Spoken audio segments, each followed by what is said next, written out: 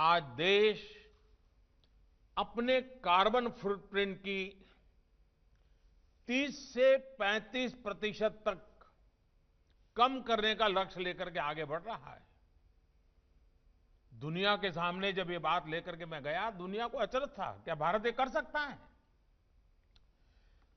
प्रयास ये है कि इस दशक में अपनी ऊर्जा जरूरतों में नेचुरल गैस की हिस्सेदारी को हम चार गुना तक बढ़ाएँगे।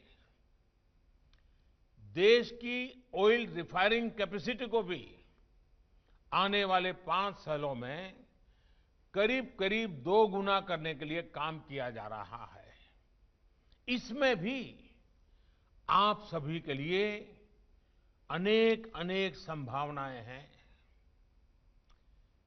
देश की एनर्जी सिक्योरिटी से जुड़े स्टार्टअप इकोसिस्टम को मज़बूत करने के लिए भी लगातार काम हो रहा है।